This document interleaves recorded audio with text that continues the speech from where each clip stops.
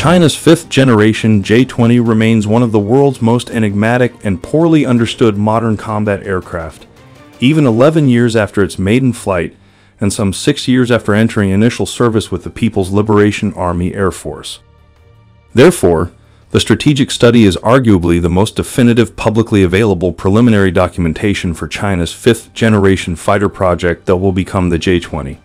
It provides a glimpse into late 1990s era China's assessment of geopolitical trends, military technology, and future air warfare through the early 21st century, as well as an assessment of China's own aerospace industry and the performance and mission requirements for their fifth generation aircraft, as considered at the time.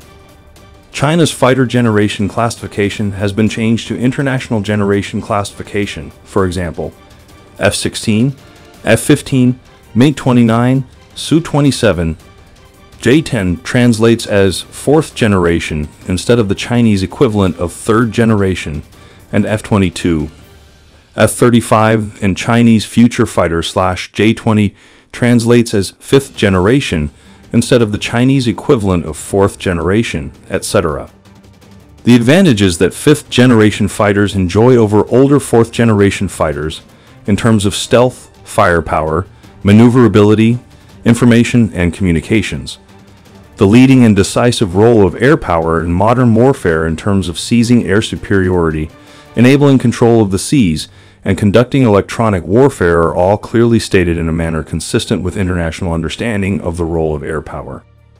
Domestic development of the fifth generation fighter is envisioned as a way to enable the PLA Air Force to carry out offensive and defensive missions, as well as advance the domestic aviation industry.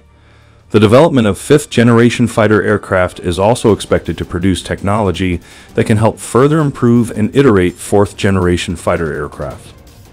The main mission of fifth generation fighter aircraft is clearly stated as air superiority to carry out long range dogfights.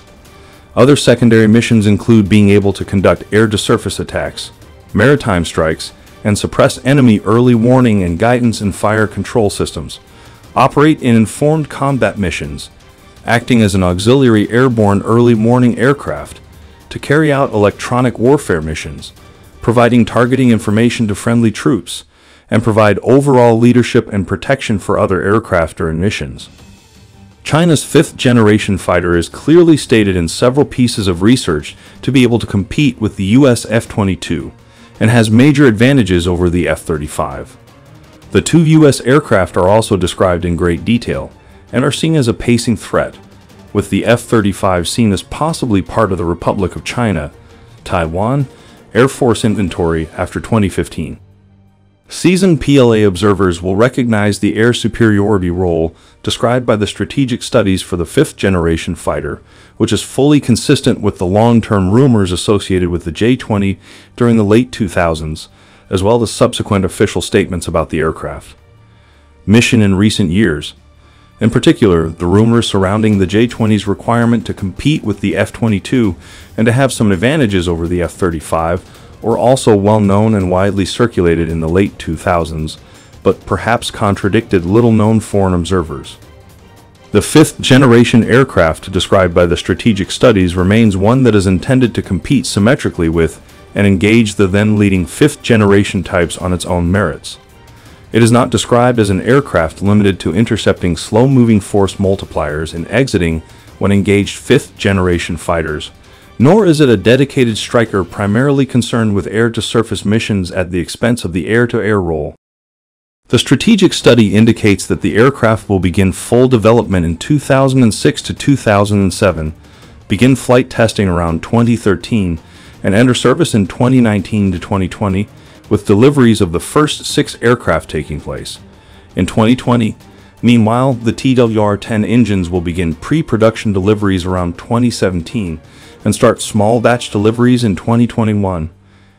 In retrospect, development and deliveries of the WS-15 have lagged behind these projections, while the overall J-20 aircraft using interim AL-31 and WS-10 engines started development and production earlier than this projection, after starting flight tests in early 2011, starting deliveries of the first batch of six aircraft in 2016, and entering small batch deliveries around 2018, three to four years ahead of this projection.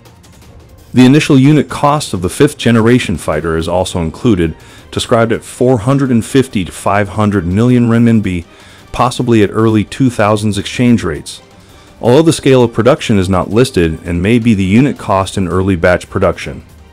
A 40 to 50 year life cycle is listed for the aircraft, and engines, avionics, and weapons systems are listed as potential future upgrade areas but the airframe itself will be more limited given the inherent nature of the airframe for the fifth generation.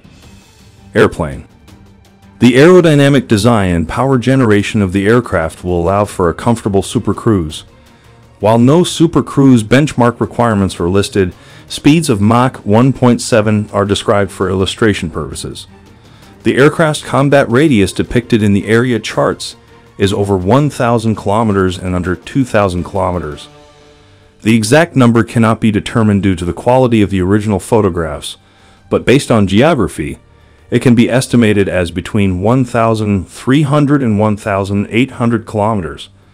The study stated that a fifth generation fighter operating from airfields on Chinese territory should be capable of operating in the capitals of other countries in the region without mid air refueling, and should be capable of operating over the entire island of Japan with a single in air refueling. The strategic study sheds light on some of the details of the project that would become the J-20. However, certain caveats need to be considered for the implications of studies on the J-20.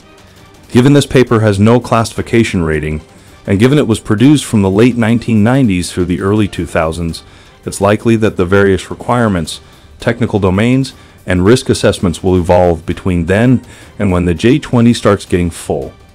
Scale development in the mid to late 2000s.